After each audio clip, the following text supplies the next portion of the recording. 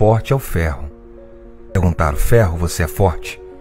O ferro respondeu: Eu não sou forte. Ainda que em minha matéria se constrói várias estruturas, forte é o fogo, porque quando eu passo por ele, eu me derreto. Então perguntaram ao fogo: Fogo, você é forte? O fogo respondeu: Eu não sou forte. Ainda que eu derreta o ferro, forte é a água, quando ela vem sobre mim, ela consegue me apagar. Água, então você que é forte. A água respondeu: Eu não sou forte. Forte é o sol, que quando passa os seus raios sobre mim, consegue me evaporar. Então perguntaram ao sol: É, sol, você que é o forte.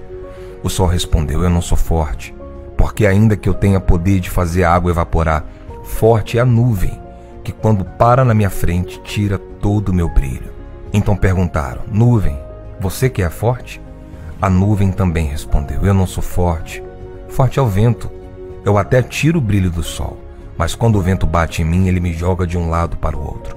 Vento, você é forte? O vento disse: Eu não sou forte.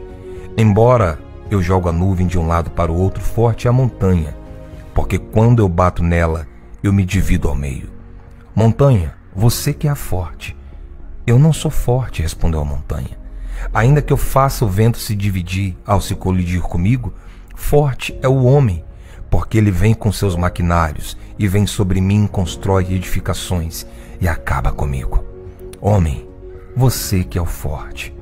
O homem disse: Eu não sou forte. Ainda que eu consiga construir edificações sobre rochas, destruir tudo que o Criador construiu, Ainda assim eu não sou forte.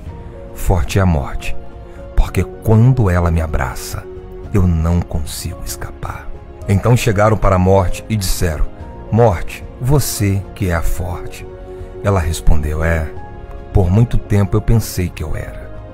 Eu abracei Abraão, Isaac, Jacó, os grandes profetas do passado, homens bons, e acabei com todos eles. Mas um dia, achando que eu era forte, abracei um homem que sobre sua cabeça havia uma promessa. Levei-o para a sepultura, mas ao terceiro dia ele ressuscitou. Forte é Cristo, forte é Cristo.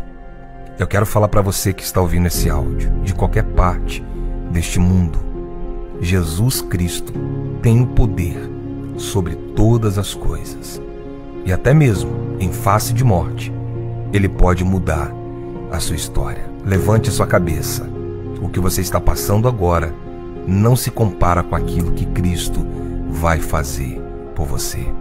Mande esse áudio para o maior número de pessoas possíveis. Você vai ajudar alguém com isto.